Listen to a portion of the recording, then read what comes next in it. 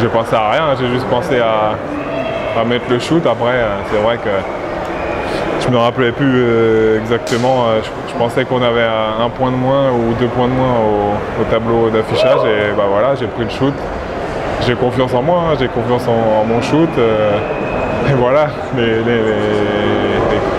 les, potes ils m'ont dit que sur le banc ils étaient fous parce que j'aurais jamais dû le prendre. Mais voilà, c'était un risque à prendre et ça m'a ça, souri, ça nous, a souri aussi. Et, voilà, après Rodrigue a terminé le travail au lancer, donc ça, rend la victoire encore plus belle.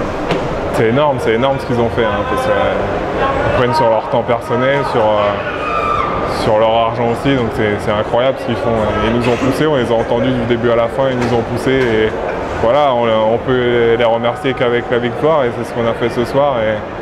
Maintenant, euh, on, emmène tout le monde en finale, toute la ville. Euh, donc euh, j'espère qu'on va, que ça va enfin nous sourire et qu'on va pouvoir ramener, ramener le trophée à la maison.